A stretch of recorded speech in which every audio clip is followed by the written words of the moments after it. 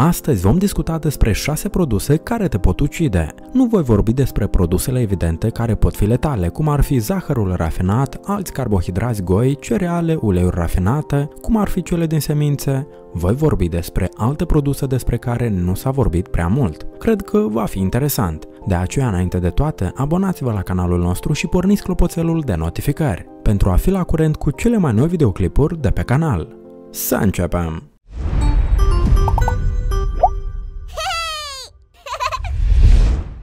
Așadar, primul produs care vă poate ucide este peștele balon, o delicatesă din bucătăria japoneză cunoscută sub numele de fugu. Bucătarii trebuie să urmeze o pregătire specială pentru a obține o licență pentru a pregăti în mod corespunzător acest fel de mâncare. Deoarece doza letală de otravă de fugu este foarte mică, o picătură de mărimea unui vârf de ac poate ucide 30 de persoane. Dacă este preparată incorrect, cineva ar putea muri deoarece toxina paralizează plămânii acumulându-se în ovarele, intestinele și ficatul peștelui balon. Este de 1200 de ori mai puternic decât cianura, așa că fiți prudenți atunci când consumați fugu.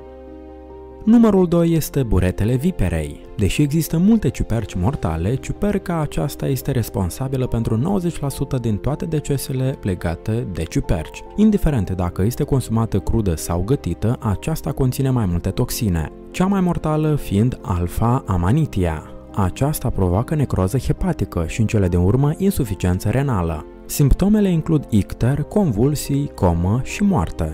Un transplant de ficat poate salva o persoană dacă se face la timp deoarece ficatul este distrus. Interesant este că există două antidoturi, unul numit silimarină, eventual disponibil fără prescripție medicală sub formă de supliment, și cel mai bun antidot, ciulinul de lapte. Extractul injectabil de ciulin de lapte protejează ficatul, Numărul 3 este caracatița vie în bucătăria coreeană. Unii oameni mănâncă tentaculele de caracatiță atunci când acestea sunt încă în mișcare, deoarece ventuzele lor pot funcționa încă și se pot atașa de gât, provocând sufocare și moarte. Așadar, dacă vreți să mâncați caracatiță vie coreeană, fiți conștienți de acest risc. Urmează cartofii verzi. Dacă vedeți pete verzi pe cartofi, nu-i mâncați. Aceștia conțin o substanță toxică numită solanină, care nu se descompune în timpul gătitului. Aproximativ 400 de mg din această toxină poate ucide un adult, iar 20-40 de mg pot fi fatale pentru un copil. Al cincilea punct este puiul crud cumpărat din magazin. Fiți precauți atunci când aduceți acasă piepturi de pui, deoarece acestea adăpostesc adesea bacterii dăunătoare precum Campylobacter și Salmonella. Chiar dacă spălați puiul, bacteriile se pot răspândi pe mâini și pe plăciule de tăiat, provocând boli grave și moarte. Numai Salmonella ucide peste 450 de persoane în fiecare an. Acestea sunt doar câteva exemple de alimente potențial mortale. Fiți întotdeauna precauți și pregătiți corespunzător atunci când manipulați astfel de produse. Cu siguranță, la început pot apărea spasme abdominale, diaree, greață și nu toată lumea supraviețuiește. Depinde de sistemul imunitar. Vreau să spun câteva cuvinte despre acești doi microbi care pot intra în corpul nostru în orice moment. Bacteria Campylobacter trăiește adesea în corpul nostru fără a provoca probleme. Poate de asemenea să trăiască în corpul nostru fără să provoace iritații, cu excepția cazului în care o provocăm consumând ceva care o irită și îi stimulează reproducerea. Alte microorganisme precum lactobacilii ajută la controlul acestor bacterii. Acesta este motivul pentru care ne confruntăm cu atât de multe efecte secundare atunci când luăm antibiotice sau când consumăm carne de la animale tratate cu antibiotice, deoarece 80% din toate antibioticele sunt administrate animalelor. Așadar, cumpărați doar alimente, în special carne, fără antibiotice.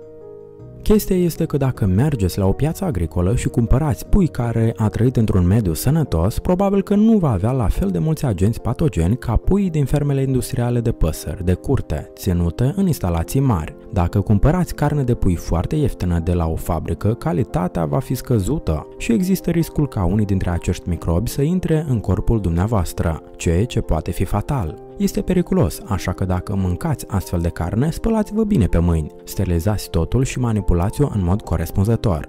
Nu consumați pui crud, gătiți-l bine.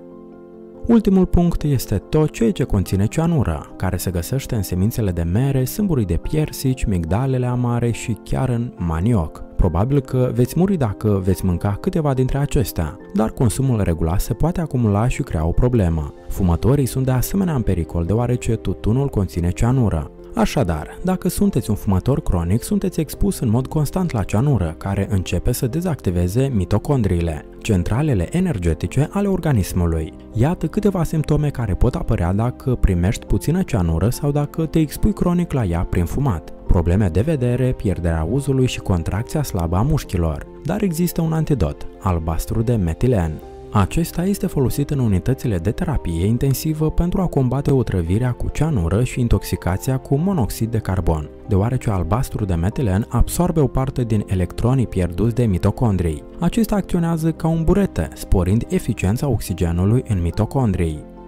Și cu aceasta trebuie să vă spun la revedere! Vă mulțumesc că ați urmărit acest videoclip. Dacă ți s-a părut util, te rog să îl susții cu un like. Abonează-te la canal și apasă pe clopoțelul de notificări pentru a nu pierde noile videoclipuri informative despre sănătate. Cel mai important este să aveți grijă de voi și să fiți sănătoși până la următoarea noastră întâlnire.